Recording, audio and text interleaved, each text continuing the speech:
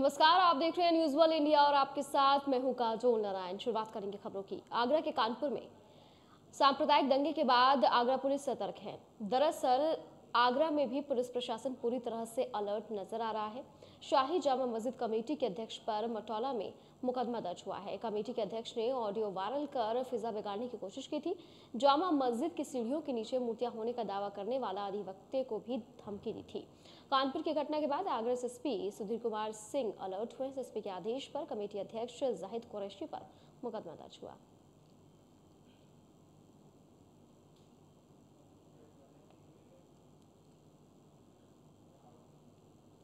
सहारनपुर के नगला में अवैध गैस सिलेंडरों की कालाबाजारी लगातार जारी है। पूर्व में भी एक बार पकड़ी जा चुकी है गैस सिलेंडरों की भारी गाड़ी। नगला में सप्लाई इंस्पेक्टर ने 30 सिलेंडर से एक भरा एक छोटा हाथी छापे मारकर पकड़ा है। एजेंसी मालिक ने सिलेंडर से पल्ला झाड़ लिया, जबकि छोटा हाथी के साथ पकड़ा गया व्यक्ति उस सिलेंडर को एजेंसी मालिक का बता रहा है।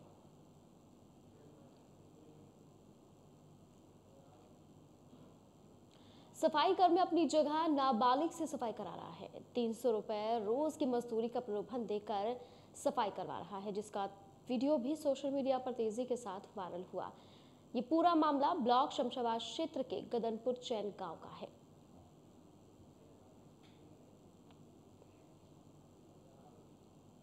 चारधाम यात्रा में आने वाले यात्रियों की संख्या में अचानक से बढ़ोतरी होने पर प्रशासन ने स्कूलों और वेंडिंग पॉइंट्स में ठहरने की व्यवस्था कराई है। ऐसे में उन हज़ारों यात्रियों को खाने की सुविधा, रहने की सुविधा, पीने का पानी, नहाने के लिए पानी और शौचालय की व्यवस्था भी लगातार कराई जा रही है। उदयपुर ज़िले के कल्याण में अपना योगदान देती आ रही इस साल उन्होंने देश के सभी राज्यों में महामारी संबंधित जानकारी दी और मुफ़्त सेंट्री पैड्स का वितरण किया। संस्था के सदस्यों ने दर्जनों गाँव आंगनवाड़ी केंद्रों, स्कूलों, बस्तियों में कार्यक्रम आयोजित कर महिलाओं को जागरूक किया है और इंडिया बुक ऑफ़ रिकॉर्ड्स के पन्नों में अपना नाम भी दर्ज कराया है।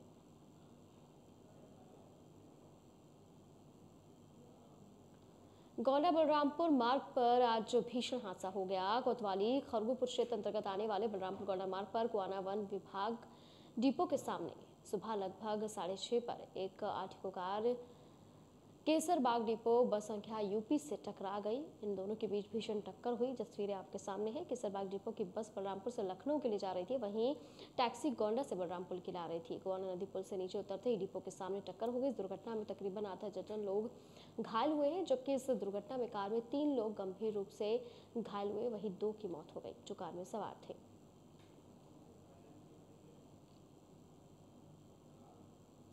बुकनपुर गाँव के पास तेज गति से आ रही एक स्कॉर्पियो ने जंगल में पशु चराने वाले वन गुजरों, मवेशियों और लोगों को जोरदार टक्कर मार दी, जिससे चार पशुओं की मौके पर ही जान चली गई और दो पशु गंभीर रूप से घायल हो गए। स्कॉर्पियो की चपेट में आने से वन गुजरों के तीन लोगों को भी गंभीर चोटें आई हैं, जिन्हें प्राथमिक उपचार के लिए हायर सेंटर रेफर किया गया। बताया जा रहा है कि मामला देर रात का है, जिसमें अचानक तेज गति से आ रही स्कॉर्पियो ने उनको टक्कर मार दी। उनके ऊपर, जिसकी चपेट में करीब छह पशु और तीन लोग आए हैं। फ़िलहाल पुलिस मौके पर पहुँची इस पूरे मामले की छानबीन में जुटी हुई है। आज मुझे सुबह सूचना मिली कि रात में एक एक्सीडेंट हुआ है और मैं मौके पे आया सवेरे लगभग छः बजे के आसपास। तो यहाँ पे देखा कि चार भैंसें बिल्कुल मरी हुई थी, बिल्कुल डेड थी और दो घायल हैं। तो दो जो घायल हैं, उनका हमने चिकित्सा किया और एक दो और मुझे ऐसा लग रहा था कि वो भी घायल हैं, उनकी भी हमने चिकित्सा की है। और चार का हमने जो है यहाँ पे जो प्रारंभिक जो हमने जाँच की तो उसमें यही पता चल रहा है कि वो इनकी एक्सीडेंट से डेथ हुई है। एक स्कॉर्पियो चालक ने जो यहाँ स्कॉर्पियो पड़ी है ना इस स्कॉर्पियो चालक द्वारा उसने कल रात अनियंत्रित तरीके से उसने उतावलीपन से गाड़ी चला रहा होगा या ओवर स्पीड रहा होगा। तो भैंस चल रही थी गुजरों की यहाँ पर रास्ते में रोड पर जो भैंस को टक्कर मार दी। उसमें तीन व्यक्ति घायल भी हैं और भैंस जिसमें भैंस चार मर चुके हैं दो घायल हैं। खादर से चुबांत के लिए खादर में पहुँची थी। समय जो जीवन करते हैं, हम लोग खादर में करते हैं पानी के किनारे पे।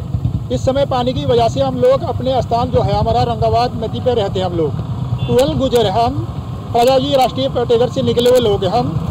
और हम लोगों का जो जीवन है, ये खाली डंगर पर ही है। हम अपना जीवन, अपना बच्चों का जो भी करते हैं, सावधान, हमारा जो भी है, डंगर से है जी।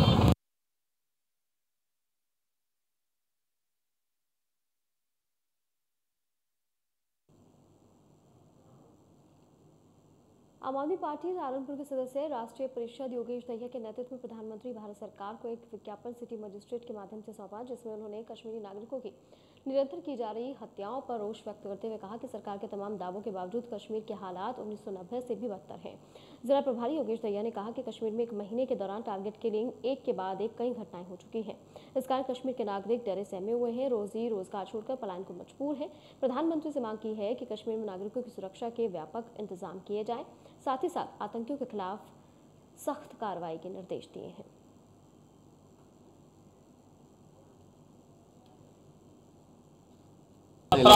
नागरिकों की हत्याएँ हो चुकी हैं और अब तो हालात ये हैं कि वहाँ का जवान भी सुरक्षित नहीं है।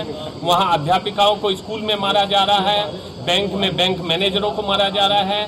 जो वहाँ पर बाहर से गए हुए मजदूर हैं, उनकी हत्याएँ की जा रही हैं। और अभी पिछले दो दिन में 500 से ज़्यादा लोग वहाँ से पलायन कर चुके हैं कश्मीर से और करीब तीन हज़ार लोग वहाँ बस अड्डों पर, हवाई अड्डों पर बैठे हुए हैं वहाँ से पलायन करने के लिए। इसलिए हम लोगों ने ये कहा है कि गृह मंत्रालय पूरी तरह से निष्फल हो चुका है। माननीय प्रधानमंत्री जी के हस्तक्षेप से हम लोगों ने आज जिलाधिकारी सहारनपुर के द्वारा एक ज्ञापन प्रेषित किया है कि वो इसमें सीधी दखल दें और वहाँ पर दिशा निर्देश जारी करें कि जम्मू कश्मीर की हालत सामान्य हो सके। और वहाँ पर जो है आम नागरिक और कश्मीरी पंडित जीवन जी सकें। जय हिंद, जय भारत।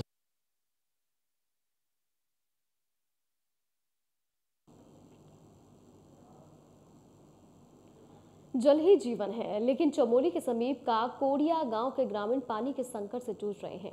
गाँव की महिलाएँ अपने छोटे छोटे ननिहालों के घर पर छोड़कर पिछले चार से पाँच दिनों से पानी के नलों को इस चटकती धूप में भी दबाने में लगी हैं। महिलाओं ने बताया कि पिछले साल से एनएच के द्वारा हमारी पाइपलाइन को बार बार क्षतिग्रस्त कर छोड़ दिया जा रहा है और हम ग्रामीण इसी तरह श्रमदान करते आ रहे हैं। वही आपको बता दें कि पूर्व जिला पंचायत सदस्य देवेंद्र नेगी का कहना है कि पानी सबको मिलना चाहिए। उन्होंने एनएच और जलस्थान से आग्रह किया है कि पानी की पूर्ति सभी को होनी चाहिए।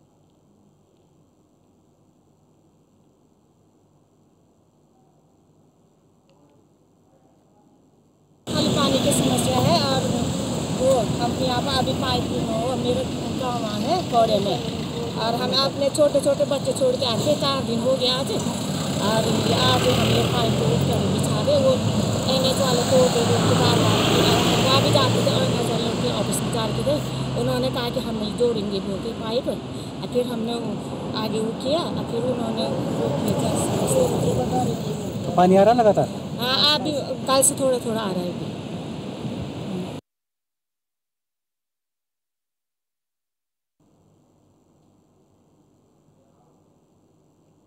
बुंदेलखंड का अति पिछड़ा जिला ललितपुर पिछले कई सालों से सूखे की मार झेलता आ रहा है। ललितपुर में परमार समाज सेवी संस्था एनजीओ है, जो पानी सिंचन के लिए कार्य कर रही है, ताकि ग्रामीण और जानवरों के लिए पानी की व्यवस्था हो सके।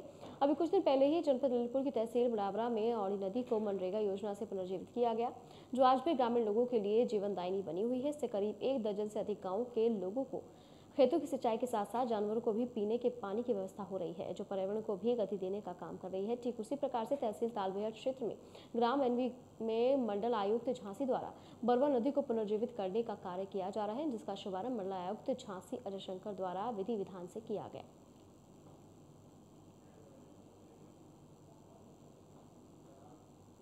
हरदोई के अरपालपुर क्षेत्र में इन दिनों बंदरों का आतंक देखने को मिल रहा है। कुछ दिन पहले कोतवाली में फरियादी फरियाद लेकर आए थे, तभी मोबाइल लेकर बंदर फरार हुए काफ़ी कोशिशों के बावजूद भी बंदर मोबाइल वापस नहीं कर रहा था, बमुश्किल छुड़ाया गया। वहीं आज फिर बंदरों का आतंक देखने को मिला। हरपालपुर कोतवाली परिसर में खड़ी एक सरकारी गाड़ी में पुलिसकर्मी की रखी टोपी बंदर लेकर फरार हो गए वहीं पुलिसकर्मी द्वारा बंदर से टोपी लेने की बहुत कोशिश की गई, लेकिन बंदर वहाँ से कहीं गायब हो गया। टोपी लेकर जा रहे बंदर का वीडियो सोशल मीडिया पर जमकर वायरल हुआ है।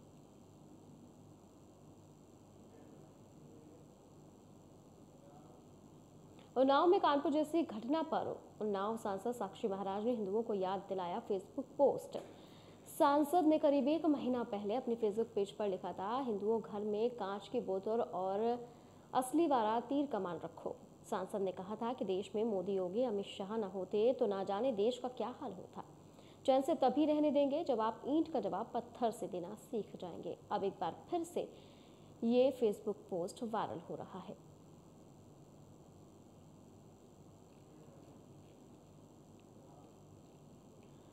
आगरा में चार युवकों को तलवार दिखाकर स्टंट करना भारी पड़ गया। सोशल मीडिया पर वीडियो वायरल हो रहा है। वीडियो का संज्ञान लेते हुए थाना हरिपर्वत द्वारा स्कॉर्पियो का चालान किया गया। युवकों द्वारा माफ़ी मांगने और भविष्य में ऐसी गलती न करने की चेतावनी देते हुए युवकों को छोड़ा गया।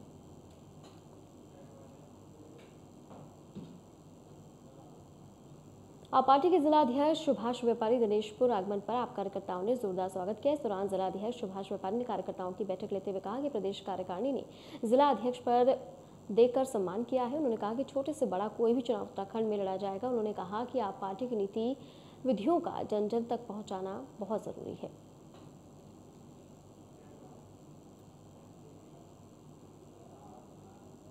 श्रावस्ती के कटरा में आज स्वतंत्र देव सिंह पहुँचे। कई योजनाओं के साथ बाढ़ सम्मति योजनाओं और विभागीय तालाबों और कुओं तथा जलाशयों का स्थलीय निरीक्षण किया। इसके बाद मुझौना और तिलकपुर गाँव के समीप कटान निरोधी बाढ़ परियोजना का भी निरीक्षण करते हुए नज़र आए। इसके अलावा अनुसूचित जाति के कार्यकर्ताओं के सम्मान समारोह कार्यक्रम में भी हिस्सा लिए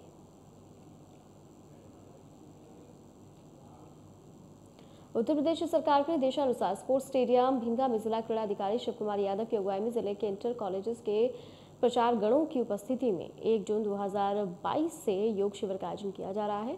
जिसके क्रम में ज़िले के योग वेलनेस सेंटर सिबरा अकबरपुर, श्रावस्ती के तत्वाधान में स्पोर्ट्स स्टेडियम हिंगा में सुबह सुबह सामूहिक योग शिविर का आयोजन किया गया। और इसी के साथ फ़िलहाल खबरों में इतना ही। आप बने रहिए न्यूज़ वन इंडिया के साथ।